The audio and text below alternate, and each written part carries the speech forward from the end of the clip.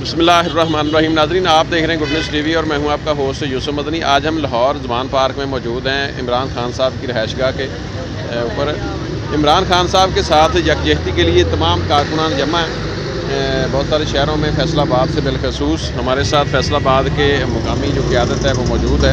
हसन जाट साहब हैं अहमद भाई हैं। दीगर दोस्त खड़े हैं। हम इनसे बात करते हैं कि खान साहब के साथ जो इनका प्यार है, यकजहती है, उनके बयानिए के ऊपर ये लबैक कहते हैं और लाहौर जमान पार्क में आए।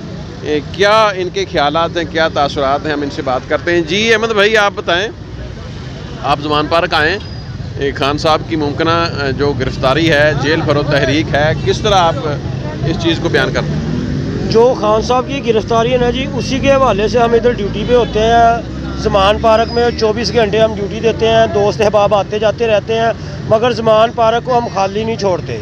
जिसमें पूरे पाकिस्तान से, अल्हम्दुलिल्लाह, दूर दराज से लोग आते हैं। हम भी अपनी सकत के हिसाब से चक्कर लगाते रहते हैं। बाकी दोस्त भी इधर होते हैं। जो इन ताला अल्लाह के हुक्म से गिरफ़्तारी तो कभी भी नहीं कर सकेंगे। ठीक हो गया ना? हम इमरान खान के साथ, मुल्क पाकिस्तान के साथ बिल्कुल मुखलस हैं। और ये इमरान खान की गिरफ़्तारी का तो सोचना भी छोड़ दें। रही बात जेल बरो तहरीक की तो हम आगे भी अलहमदिल्ला जेल हो गए, आ चुके हैं। तो इस दफ़ा भी जैसे खान साहब का आर्डर आएगा, हम लोग सबसे पहले गिरफ्तारी देने के लिए थाने के बाहर खड़े होंगे। ज़बरदस्त। जी साहब।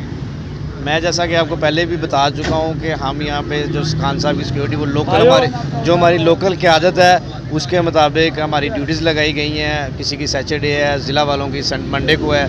डे बाई डे हम लोग आते हैं और कुछ जो से हैं वो इधर बैठे हुए हैं लोग जो खान साहब की सिक्योरिटी के लिए और इन शाला हम खान साहब के साथ चाना बिछाना खड़े हैं। अगर खान साहब को अरेस्ट करने के लिए आएँगे तो पहले हम हम जाएँगे उसके बाद खान साहब जाएँगे। ज़बरदस्त। अच्छा। जी।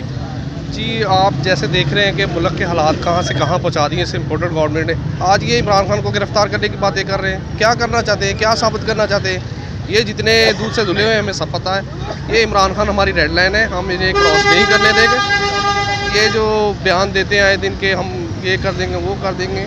देखिए, ये जमहूरीत नहीं है।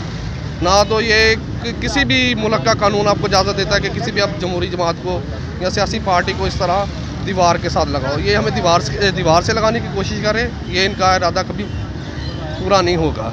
हम इन इमरान खान के साथ खड़े हैं। आप देख रहे हैं किस तरह पूरे पंजाब से लोग आ रहे हैं।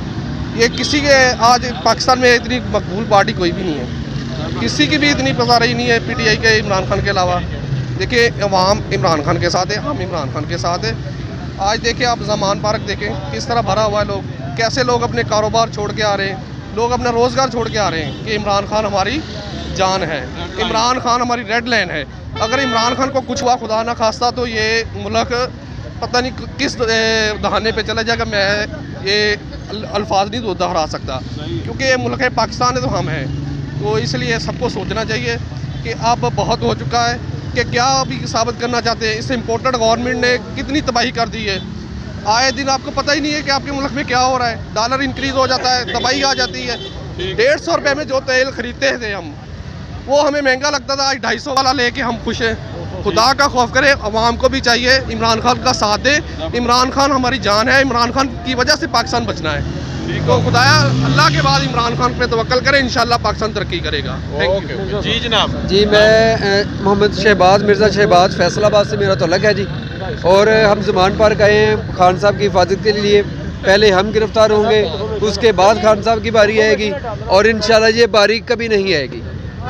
क्योंकि खान साहब मुल्क पाकिस्तान की सालमियत की और उसकी बका की जंग लड़ रहे हैं। कैद अज़म ने जिस मकसद के लिए पाकिस्तान को आज़ाद करवाया था, इन ालमों ने वो मकसद पूरा होने नहीं दिया और ना ये होने दे रहे हैं। खान साहब का ये मकसद है कि जिस मकसद के लिए ये मुल्क पाकिस्तान बना था उस मकसद को पूरा किया जाए और मुल्क पाकिस्तान को दुनिया के सामने लाया जाए कि ये एक सलामती वाला मुल्क है और यहाँ सलामती वाले लोग हैं और इन ये मुल्क तरक्की करेगा तो खान साहब की लीडरशिप के अंदर तरक्की करेगा।